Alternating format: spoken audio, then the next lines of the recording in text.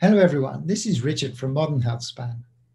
I recently had the opportunity to sit down with Dr. Harold Katcher, who was one of the authors of an amazing paper published on bioRxiv in May 2020. The paper is a preprint and so is still under peer review. The paper was about an experiment which reduced the age of rats by an average of an unprecedented 54%. Before we release the interview, as the paper is so groundbreaking, we think it is worth doing a review to provide some context. When the paper was released, Dr. Sinclair made some comments. Let's see what he said.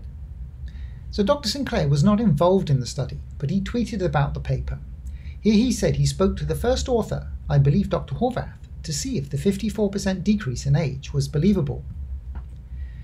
Here we see that Dr. Horvath did not believe the results at first either, but that he checked the genomes to be sure. The rats weren't mixed up, and the data is the data. Dr. Sinclair provided a quick summary of the results, which he said were astounding. Are the results believable? As Dr. Sinclair says, the measurements and the stats do look correct, and also Dr. Horvath is the best there is for epigenetic age testing. This is the paper, Reversing Age, Dual Species Measurement of Epigenetic Age with a Single Clock. The background for the paper was that young blood has been shown to benefit older rats but the previous experiments were done before epigenetic aging was available.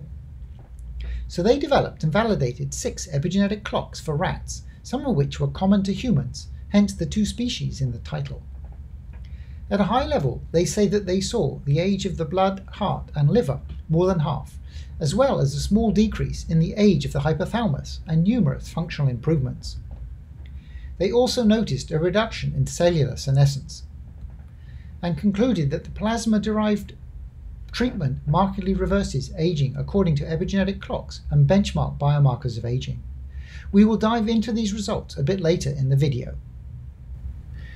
In the plasma fraction treatment used in the investigation, the plasma of old rats is replaced by that from young rats. In the experiment, they had three groups of rats, with six rats in each group. One group was 30 weeks old, those were the young rats, and two groups were 109 weeks old, who were the old rats, one of which received the plasma fraction treatment. The rats were injected with the plasma over an eight day period at the beginning and then again at day 95, as in the diagram at the bottom of the slide. The reasons for the injections being spread over eight days were so that the rat veins had time to recover between the injections. Here are the results in more detail. This set of graphs show the epigenetic age of tissue in the blood, liver, heart, and hypothalamus at the end of the experiment. We can see that the old treated group on the right is a lot younger than the old untreated, indeed, almost back to the age of the young rats. The blood was 66% younger, the liver 75%, and the heart 57. The exception was the hypothalamus, which was 11% younger. Here are the age related blood markers, which have the advantage that they can be taken over time. I won't go through all of these, but you can see that after the administration, the treated age rats with the yellow dots move towards the numbers of the rat, younger rats in blue dots.